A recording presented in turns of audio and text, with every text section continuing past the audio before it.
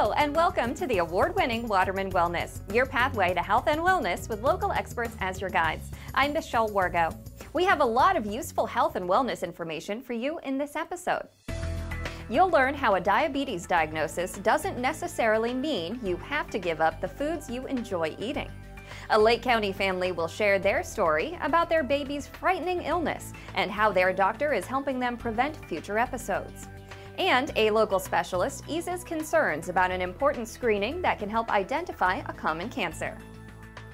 We begin this episode with a new medical tool now available in Lake County to help doctors with the diagnosis of a variety of conditions. Florida Hospital Waterman recently obtained the most advanced computer tomography or CT scanner now available in Lake County. The CT scanner is a diagnostic tool, much like an x-ray, that takes images of the inside of the body. This new scanner is much faster and much more powerful than any scanner we've ever had before. This will allow us to do patients much faster and get better detail and get uh, better imaging and diagnosis of the patients.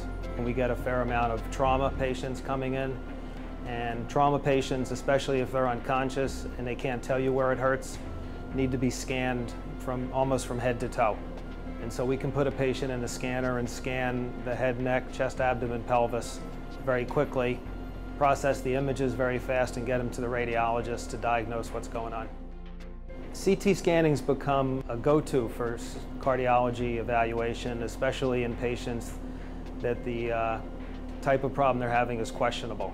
We can screen them with a CT scanner now and get an answer in, in a matter of minutes to an hour, as opposed to waiting two days. Having the scanner at Florida Hospital Waterman allows us to offer a wide range of uh, equipment to our patients, and we can triage patients depending on their needs. Dr. Wittenstein says the new CT scanner is especially helpful for pediatric patients and people who need repeated scans because the radiation dosage is lower. We turn our attention to another type of screening that is important for diagnosing a potentially deadly disease. Colon cancer is the third leading cause of cancer-related deaths in the U.S. It is expected to cause almost 50,000 deaths during 2015. But when caught early, experts say patients can expect a 92% five-year or more survival rate. Doctors recommend anyone over age 50 getting a colonoscopy to screen for colon cancer. The screening can start earlier in patients who have a strong family history of colon cancers. So some people start at age 45 and somebody has inflammatory bowel disease. Those patients also start screening much earlier. The biggest problem that I see as a medical oncologist is uh, about uh, probably one in four patients that are eligible for screening never get screening test done. The best way to diagnose uh, or a screening test is still the colonoscopy is the best one. The downside of that one is uh, the prep. That is one real problem that I see with these patients. It is not that they don't want to have the test done, but they're afraid of the screening. The prep involves drinking a solution that helps to clear out the colon prior to the procedure. Current preps are much better than what they used to be. Uh, but still, there is a fear that they have to get over it to do the testing.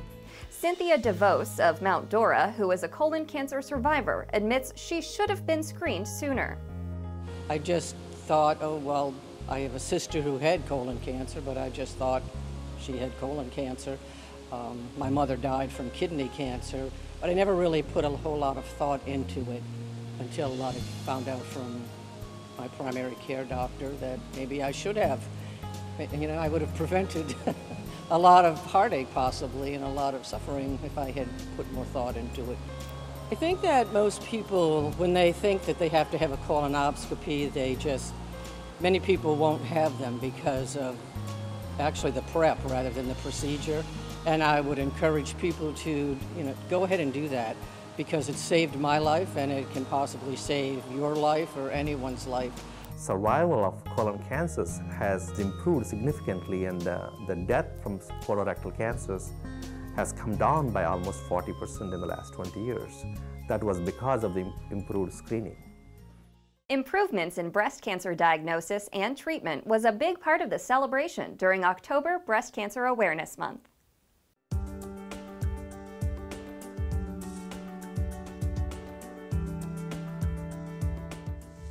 Florida Hospital Waterman turned a shade of pink while hosting an array of events that highlighted valuable resources for breast cancer patients. So today we have vendors, we have community folks, and, and multiple organizations here represented saying, hey, let's do this together and let's continue to increase awareness. One of the reasons, especially for, for myself, has been a lot of people don't know that this type of business exists. So this actually raised awareness for places like, you know, my business that has cranial hair prosthetics that's in Lake County and a lot of people just don't know that. So I think that's really great for a lot of the local businesses. Actually, last year this day I was having my fourth surgery.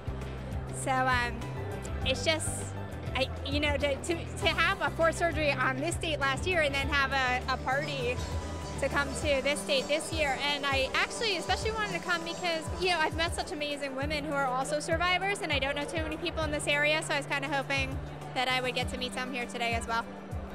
You have all these brave women who've been faced with this terrifying diagnosis of breast cancer, and they've gone through it, they've faced it, and it's very heartening to see a lot of them, a lot of my patients here, and I think this is a celebration of their bravery and their courage. You'll find resources about all types of cancer prevention and treatment by visiting the website fhwatermancancer.com. It's time to take a short break, but we'll have plenty more when Waterman Wellness continues.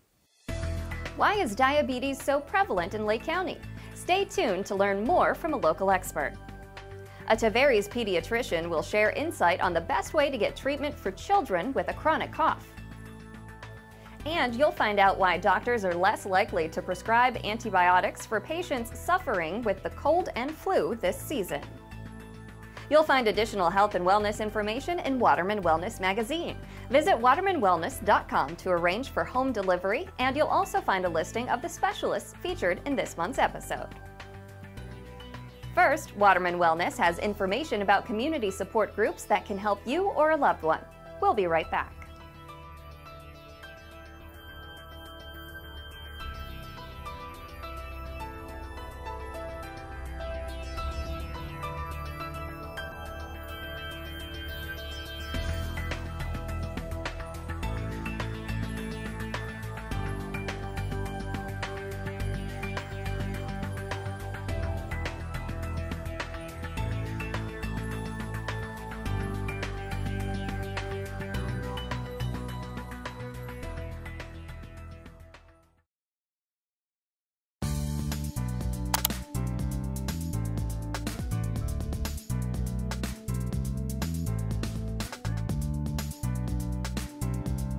Welcome back to the award-winning Waterman Wellness, your pathway to healthy living with help from local experts. I'm Michelle Wargo.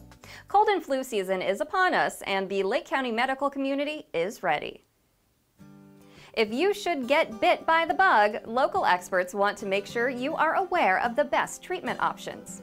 When you go to your physician for the common cold or cough and they feel that it's viral and uh, do not prescribe antibiotics, just remember that most of your colds and coughs and even ear infections are viral in nature and antibiotics are not going to help that. It's not going to make you better any faster. It's not going to resolve the symptoms. Evans says doctors will recommend you address symptoms with rest and appropriate over-the-counter medications because antibiotics can have negative effects in the future. You're increasing the risk of developing antibiotic resistance you yourself can be developing antibiotic resistance and you can also be making other the bacteria in your body become resistant so that if somebody else catches it then they can have an antibiotic resistant bacteria. Evans stresses that antibiotics are beneficial for some illnesses and encourages proper use of the medication when prescribed. So it's important to remember that if you are prescribed antibiotics, they are prescribed for you. And so you really shouldn't be sharing them with your loved ones. Also, you want to remember to take your antibiotics as prescribed. Always take a full course. You don't want to just take three days because that also can contribute to resistance. For parents of very young children, the onset of a cold or cough can be of concern because the little ones can't communicate what's wrong. That was the case for one Lake County family last March whose infant was admitted to the hospital after the baby's cough developed into something frightening. It was just scary because there was a lot of wheezing, um, shortness of breath. He was just really frustrated and, and just uncomfortable. You could just tell something was wrong. The Blackman's pediatrician, Dennis Diaz, who moved to Lake County from Duke University School of Medicine, brought the young family immediately in for treatment. He then determined it best to send the baby to Florida Hospital Waterman. So typically the reasons to admit a child would be symptoms that are potentially um, going to get worse and potentially life-threatening. In Sawyer's case, he had significant difficulty breathing and wheezing um, that required very frequent treatments that would be very difficult to do at home. They found a touch of pneumonia in one of his lungs, and um, then, uh-oh, and, um, and uh, that was, you know, complicated his breathing, so we were just on almost every two hours of a breathing treatment, um, and oxygen to help. Once recovered, Dr. Diaz prescribed twice daily breathing treatments for little Sawyer. There are uh, nebulizer treatments that work immediately, uh, or acute treatments, and then there are other treatments that work uh, over the long term. So there are some uh, medicines that are given for lung disorders that actually are given daily. In certain cases, if you have a certain lung disorder, um, you need your daily breathing medicine. So that can actually, over time, help prevent future recurrences of your, of your symptoms. We've been doing the twice daily breathing treatments and there have just been, you know, he's not had any flare-ups, any issues. He's just fun. I mean, he likes to, his favorite thing is to play all over me, grab my hair. Um, he's very loving. And he's a ham. He's a great baby. I would say certainly in the fall and winter, that's by far the most common presenting symptom that we have is cough, congestion of the nose. In, that, in most cases is, is very uh, a mild illness. If you're worried about how your child is breathing and they, if they seem like they're struggling to breathe, can't catch their breath, they're breathing fast, and certainly if their uh, lips are blue, go ahead and call your pediatrician. If you're worried about that they're struggling to breathe, if your pediatrician is not available, go ahead and take them to the ER. You can find a pediatrician to help manage your child's health throughout cold and flu season, as well as year-round by visiting the website on your screen. Nutrition is key to helping manage many chronic illnesses.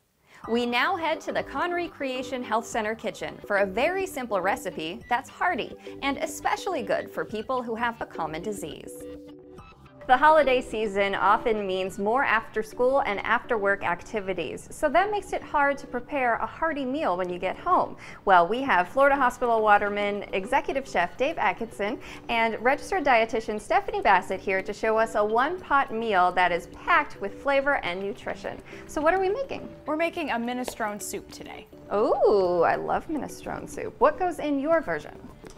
It's got two types of beans, carrots, tomatoes, zucchini squash, spinach, green beans, uh, diced celery, diced onion, and pasta, which is optional. You don't have to add pasta, but the classic minestrone would have pasta. Yeah, like I said, this is super simple. We're just gonna add our stock. And this recipe calls for veggie broth. Yeah, this is vegetable stock. So why is this good for us? Has a lot of fiber. As you can see, we have tons of different veggies in there and beans, and those are packed full of fiber, and they're awesome for us. So this is great. You can have everything chopped up again, like like we've talked about in the past. You know, while you're making dinner the night before, chop up all your vegetables, have them ready to go, and then you can throw them all in the crock pot the next morning. And then when you get home, you have this delicious soup yep. waiting for you. Just turn it on and let it go. It'll take about seven hours probably.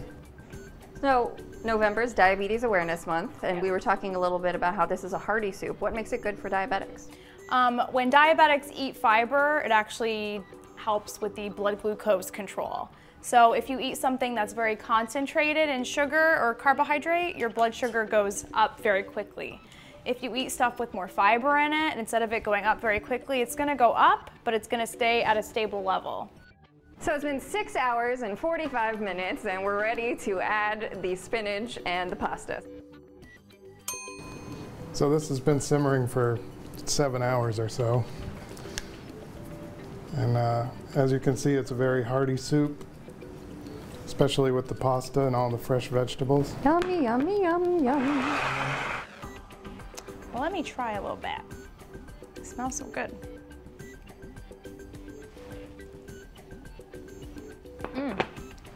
That is delicious, Dave. You've outdone yourself. If you'd like the slow cooker minestrone recipe, visit watermanwellness.com. Medical experts in Lake County are especially focused on diabetes awareness. It is because of the number of people with the disease is so prevalent.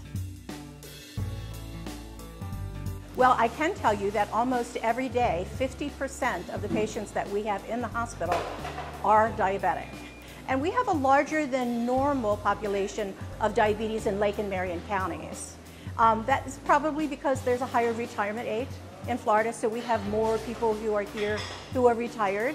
Diabetes is one of the few chronic diseases where 95% of the care has to be done by the person that has the disease.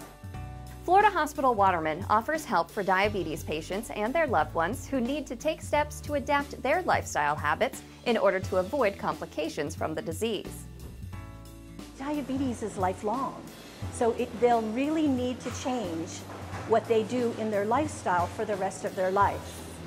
Now that doesn't necessarily mean that they have to give up things because there isn't any food that is terrible, but you just have to make sure that you have the right sort of portions and that if you want to have a scoop of ice cream with your dinner, then you give up your potato or you give up your bread in trade for that. And this is what we try to teach people when they come in. Florida Hospital Waterman offers community programs to help incorporate the lifestyle changes needed to manage diabetes. Visit the website on your screen to learn about the diabetes self-management classes and twice monthly support group. We hope you've enjoyed this month's episode of Waterman Wellness, your pathway to healthy living with help from local experts. Be sure to watch for the December episode right here on Lake Sumter TV for some of the following stories. If you are planning to incorporate a healthier lifestyle into your new year, you'll want to hear what one Lake County specialist has to say to get you started. And you'll want to make sure you've got your best foot forward when it comes to exercise. We'll hear from a local podiatrist. And next month's visit to the Conroy Creation Health Center kitchen includes a delicious dish that will add elegance to your holiday table. To learn more about the experts featured in this program, please visit watermanwellness.com. Until next time, I'm Michelle Wargo for the award winning Waterman Wellness.